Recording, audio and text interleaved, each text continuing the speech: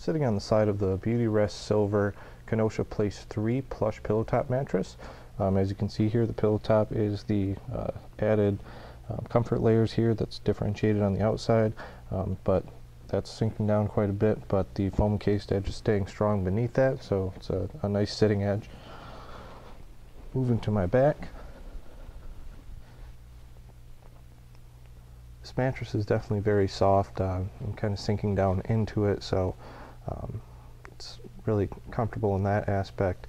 Um, I'm getting good contouring to my lower back and no pressure points in uh, my shoulders or hips, so um, that's a good feeling mattress. Moving to my side.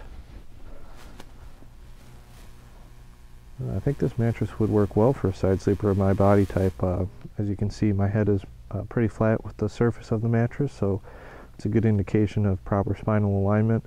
Um, and I don't really feel too much pressure in uh, my shoulders or hips. So, all in all, I think if uh, you're a side sleeper of my body type, you do well on this mattress. And if you are a uh, back or stomach sleeper that likes a soft mattress that you really sink into, uh, this mattress could do well for you.